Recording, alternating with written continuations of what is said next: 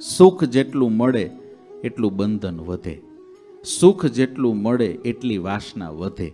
મોટાઈ જેટલી મળે એટલું બંધન વધે. અને સુખ મળે, સંપત્તિ મળે, પદ મળે, પ્રતિષ્ઠા મળે, મોટાઈ મળે અને તોય બંધાય નહીં, તોય ખેંચાય નહીં. તો સમજવાનું આ મુક્ત છે.